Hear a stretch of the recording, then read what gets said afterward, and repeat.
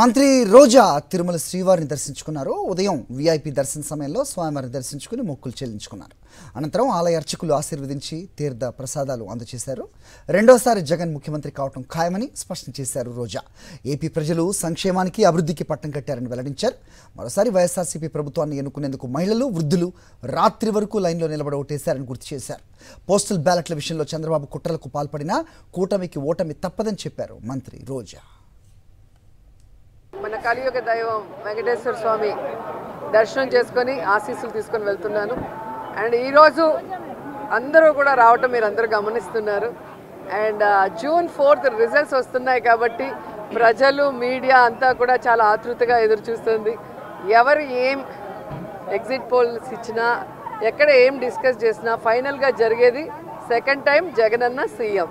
ఎందుకంటే ఈ రాష్ట్ర ప్రజలు సంక్షేమానికి అభివృద్ధికి పట్టం కట్టడానికి రెడీగా ఉన్నారు కాబట్టే మహిళలు ముసలి వాళ్ళు పెద్ద ఎత్తున రాత్రి తొమ్మిదైనా కూడా ఎదురు చూసి ఓటింగ్ వేసి వెళ్ళటం మనం అందరం కూడా గమనించాం. ప్రభుత్వ బాధ్యతగా ప్రజలకి మంచి చేయాలి రాష్ట్రాన్ని అభివృద్ధి వైపుకు నడిపించాలి అని చిత్తశుద్ధితో పారదర్శక పరిపాలన అందించారు కాబట్టే ఈరోజు మేమంతా కూడా చాలా కాన్ఫిడెంట్గా ఉన్నామన్న విషయాన్ని మీ అందరికీ తెలియజేసుకుంటున్నా.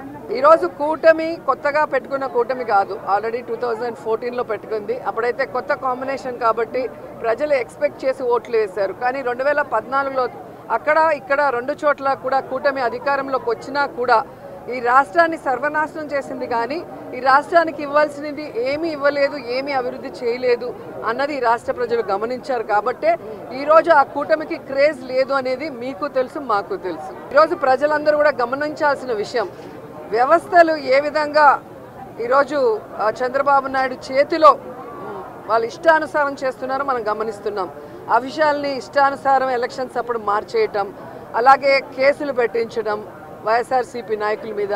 ఇప్పుడు దేశంలో ఎక్కడా లేనటువంటి విధంగా కొత్త కొత్త రూల్స్తో పోస్టల్ బ్యాలెట్ని ఏ విధంగా వాళ్ళకి అనుకూలంగా మార్చుకోవాలన్న ప్రయత్నం చేస్తున్నారో మనం గమనిస్తున్నాం. అదే చెప్తున్నా కదా ఎవరెన్ని దొంగ ఆటలాడినా ఎవరెన్ని వ్యవస్థలను మేనేజ్ చేసినా ప్రజల మనసులో ఉన్న జగన్ గారిని చంద్రబాబు నాయుడు కాదు కదా ఆయన పుట్టించిన ఖర్జూరం నాయుడు కూడా మేనేజ్ చేసి మార్చలేడని కూడా ఈ సందర్భంగా తెలియజేసుకుంటున్నాను